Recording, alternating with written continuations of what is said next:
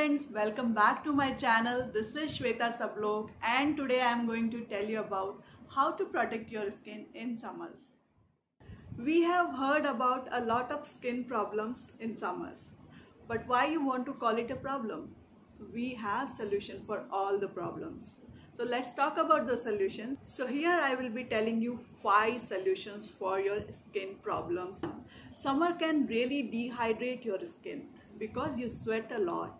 And when your skin get dehydrated, your skin become more sensitive. What you should do in that condition? You should do two things. One, drink plenty of water. Second, apply a water-based moisturizer.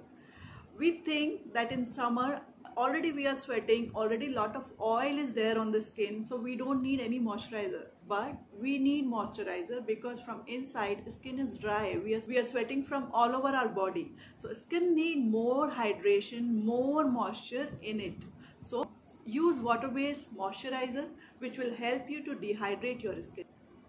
Number 2 when you are outdoor you develop a lot of skin tan and allergies so what you should do apply a sunscreen sunscreen with SPF 30 or SPF 40 number 3 you tend to develop a lot of body fungal infection due to the sweat and body folds. So before leaving your house apply antifungal powder like candid or Abzorb.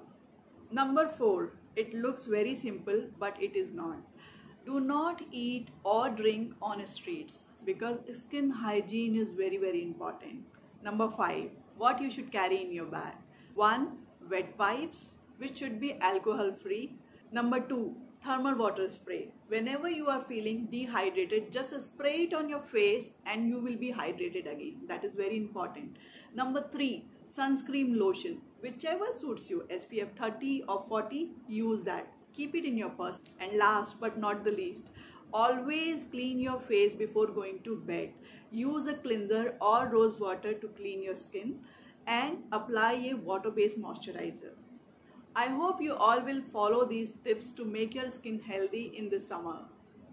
Thanks for watching my video and if you like it, please like, subscribe and press the bell icon and if you really want to share this information with your friends, do share it and we will be see you again in our next video with a very exciting topic which will help you out.